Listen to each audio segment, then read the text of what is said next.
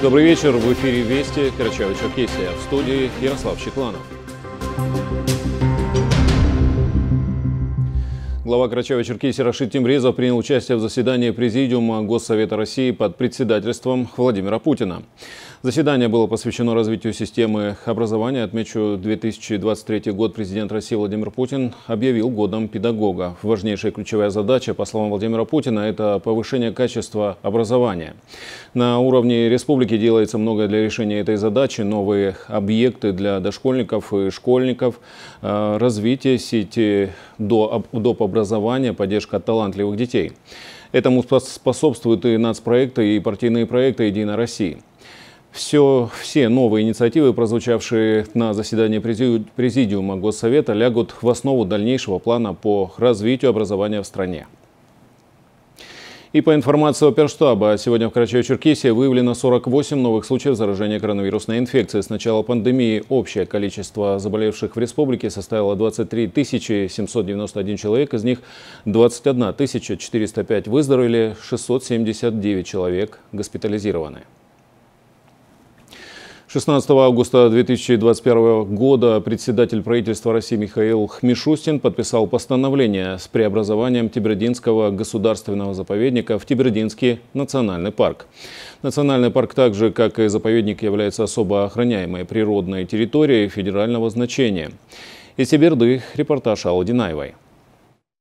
Распоряжением Совета министров еще в 1971 году из территории заповедника была отведена земля под строительство поселка Домбай площадью 112 гектаров. Тем же постановлением 102 гектара склона горы Мусаачтара предоставили для развития горнолыжной инфраструктуры, строительства канатных дорог, лыжных трасс и бугельных подъемников. В 1995 году выходит 33-й федеральный закон об особо охраняемых природных территориях, где четко, ясно написано, что на территории заповедника разрешается только экологический туризм, экопросвещение, но, но не рекреационная деятельность.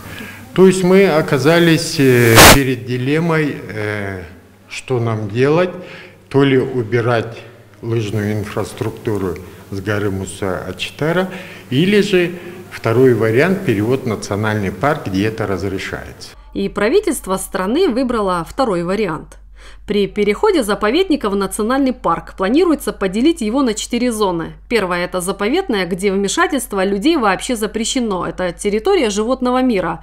Вторая – особо охраняемая зона, где ведется работа в направлении экопросвещения. Создаются экологические тропы, но они у нас уже есть, и мы новые маршруты создавать не будем, говорит директор Тибердинского заповедника.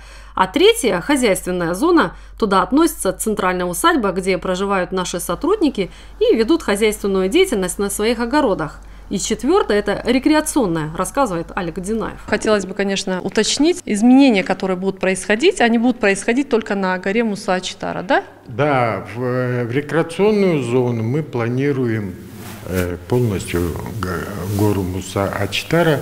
Это, чтобы для наших телезрителей было ясно, общая площадь заповедника 112 606 гектаров. Тысяч, 112 тысяч. Склон Муса-Ачтара – максимум 500 гектаров. Если в процентном отношении это менее 0,5%. Там мы будем создавать рекреационную зону.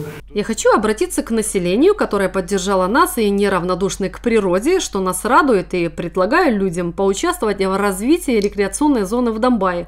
И если есть какие-то предложения, мы готовы их рассмотреть, говорит директор Тибердинского заповедника Алик Динаев. Нам в этом году исполнилось 85 лет, юбилейный год, и мы переходим в национальный парк документально. Все это время мы работали в режиме национального парка. Поэтому, если так в двух словах сказать, мы сейчас приводим в соответствие с федеральным законом наши действия, нашу работу. Уточнение границ мы провели, ни сантиметра земли отчуждения не будет, э, лес вырубаться не будет, поэтому я хочу заверить наших э, жителей, чтобы были спокойны в этом плане, мы постараемся все сохранить то, что нам досталось от наших предков. Алла Динаева, Али Бастанов, Вести, Карачева-Черкесия, Тиберда.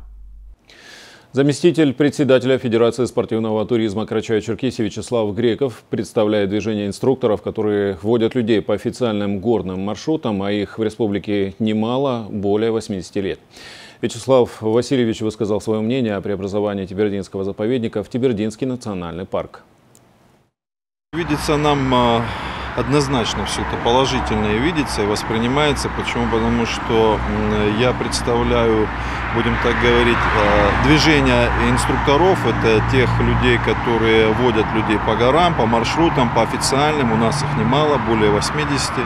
Режимный объект, он как был, так и остается. Это федеральные земли, без права, как многие думают, приватизации там, или отчуждения. Но Здесь плюс в чем мы видим? В том, что наконец-то появилась возможность упорядочить э, рынок э, предоставления услуг, вот в частности по горным маршрутам. На наш взгляд, мы специально как бы изучали законы, положения, э, он помогает навести как раз таки порядок. Там даже можно сказать, что будет ужесточение. То есть это все равно режим. Те земли, которые, допустим, и нам выглядят сладкими для того, чтобы туда водить людей, да, зарабатывать и быть налогоплательщиками, они все равно останутся недоступными. Чтобы сохранить природную красоту, требуется усилия не только со стороны государства, но личное участие каждого человека. И тем удручающе выглядят горы мусора на фоне завораживающих красот Тиберды. Такой диссонанс реален и, как рассказывают жители, уже продолжителен. Курортный город не справляется с мусорным коллапсом. Выход из положения вместе с горожанами искала и Фатима Даурова. СОС. Тиберда задыхается под мусором. Буквально несколько дней назад региональные блогеры на своих страничках в соцсетях начали распространять информацию о том, что курортный городок буквально переполнен бытовыми отходами. Сегодня мы здесь, чтобы разобраться в сложившейся ситуации и понять, кто виноват, и что делать. Крик души местных жителей на этот раз зазвучал очень радикально. Теперь люди вот так стоят, разговаривают, а давайте соберемся, выйдем на трассу и перекроем дорогу. Может быть, тогда кто-то должен что-то сделать. Мусорный коллапс, окутанный шлейфом отходов, дающих свой неповторимый аромат под жарким солнцем. Привычная картина этого лета в Тиберде. Переполненные контейнеры, бумаги и пакеты, плывущие в воздухе в ветреную погоду, не имеют ничего общего со знаменитым кадром из голливудского фильма «Американская красота». Мусорная эстетика Тиберды особенная добираться до мусорки через гору мусора. Своеобразная теренкуровская дорожка с полосой препятствия, через которую проходит каждый раз местный житель, который желает выбросить мусор. После увиденного мы, конечно же, обратились с пояснениями к региональному оператору компании «Глобус», который на данный момент ведет обслуживание этой территории по вывозу мусора. У них нашлись свои аргументы, которые в некоторой степени пояснили сложившуюся ситуацию. Один из них – это наличие на мусорных площадках строительного мусора, которые сами жители выбрасывают не только в контейнеры, но и на подходах к ним. Организация занимается вывозом только твердых коммунальных отходов. Техника рассчитана только на работу с твердым, э, с твердыми коммунальными отходами. Но когда там идет перегруз э, строительного мусора, мы знаем, что он очень тяжелый, техника выходит из строя. Поэтому вот последние два месяца у нас техника, которая предназначена для вывоза контейнеров, стоит на капремонте. Поломались бациллы. Э, наши сотрудники вынуждены переворачивать баки и вручную загружать эту технику э, в машины задней загрузки. Еще один аргумент – человеческий фактор. По статистическим данным, в Тиберде сейчас проживает более 7 тысяч населения, а начисление организация производит наполовину меньше, чем нужно по факту. Но и здесь не все своевременно производят оплату за мусор. Есть такие, которые приезжают и на все лето, на месяц, на два снимают частные дома. Никто дополнительно не э, заключает договор и не увеличивает на это время количество проживающих. Поэтому количество мусора очень увеличилось. В связи с пандемией все туристы, которые ранее отдыхали за границей, поехали в нашу республику. Э, такая ситуация сложилась не только по вине рекоператора. То есть э, Э, многие организации, которые работают, коммерческие предприятия, не заключают договоры на обращение с твердыми коммунальными отходами. У местных жителей, которые исправно платят за мусор, но все-таки страдают из-за его переизбытка, есть свой вариант выхода из положения. Ну хорошо, строительный. Можно машину одну нанять, вывести его, поставить камеру и наблюдать. Вот парень привез на машине строительный мусор, вывалил, записали номер, выяснили хозяина и наказали его, чтобы другим не повадно было. По словам гендиректора управляющей компании «Глобус», объем мусора увеличивается еще за счет отходов, которые привозят в Тиберду из Домбая.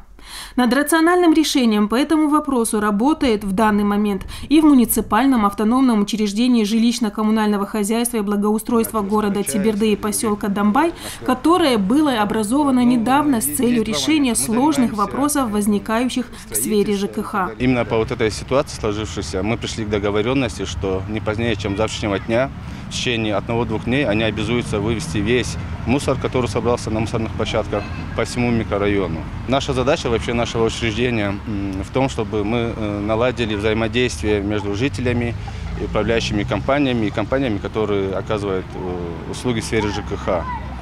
Поэтому мы будем работать и с региональными операторами, и с населением, э, чтобы вот такая ситуация, которая на сегодняшний день сложилась, чтобы она уже больше не повторилась.